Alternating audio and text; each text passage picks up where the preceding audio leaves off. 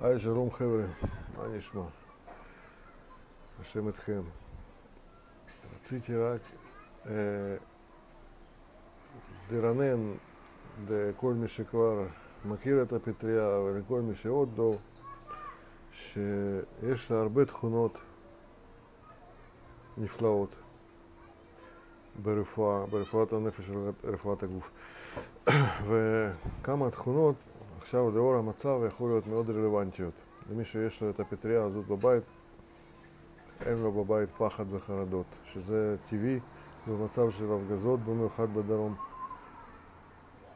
אז uh, כל מי שיש לו אפשרות להשתמש בפטריה אמנית המוסקריה הוא מוצל מפחד, מחרדה, זה א', ב',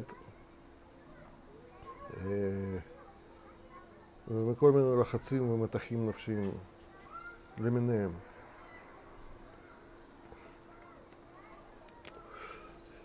דבר שני, זה שהפטריה, אה, גיליתי תכונה מאוד חזקה, שזה מדד מאוד חשוב. כמובן, יש לרופאים גם תחליף אה, כימי,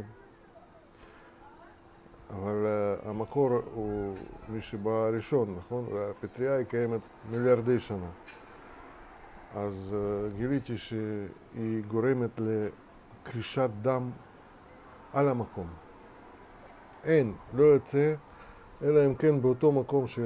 ואני בן אדם מאוד טראומטי, אני רגיל לראות דם על עצמי. אני כל הזמן, ברוך השם, אה, לא שומר שומר על נפשי, אבל לא תמיד על גופי. אז uh, רציתי להגיד שהפסקתי לראות דם, פעם ראיתי הרבה דם. נחתכתי, נפצעתי, פה, שם, אין כלום עכשיו. גם אם נחתכתי וקורה, או קיבלתי, לא יודע, מכה, לא יורד דם. זה נקרא, זה נקרא מהירות קרישת דם, זה מדד מאוד מאוד חשוב. ו... שימושי מאוד, במיוחד ב... חס ושלום בשדה קרב. כי לאבד דם זה שווה למות, כן, חס ושלום. זה לאבד דם, כל אחד יודע מה זה דם.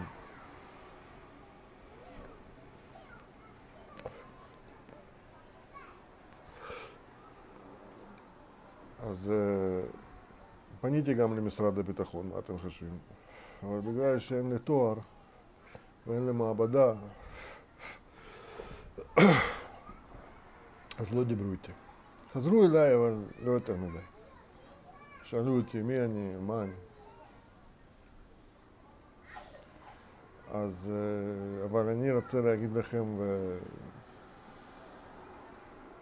זה ככה, שהיא עוצרת דם יורד רק אותה כמות דם שהייתה במקום החיתוך, זהו, תו לא. אין זרימת דם החוצה.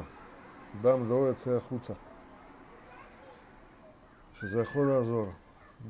דרך אגב, יש מחלה נוראית שמת ממנה, לא מת ממנה, אבל היה עלול למות ממנה, בן של מלך רוסיה האחרון, ניקולאי השני, היה לו בן, בן זקונים.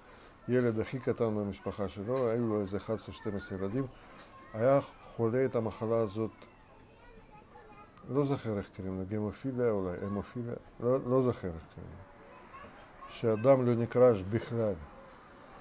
אז אה. מי שיכול אולי להשתמש בפטריה הזאת, זה יכול לעזור לו. קרישת דם וחרדות. וזהו, ו... נמשיך להתפלל, ואני חושב שכבר, אתם יודעים, הקדוש ברוך הוא, אני קצת מכיר אותו, הוא לא כמו בן אדם. גם כתוב, לא מחשבותיי מחשבותיכם ולא מחשבותיכם מחשבותיי, הוא חושב אחרת. איך הוא בודק אותנו? יום הדין זה לא... זה לא כמו בית משפט הרגיל, שאתה יכול לחכות שלוש שנים, אולי יותר, להכרעת בית דין. פה למעלה בית דין בצ'יק. וכולם במחשבה התבררו כתוב בזוהר, למה?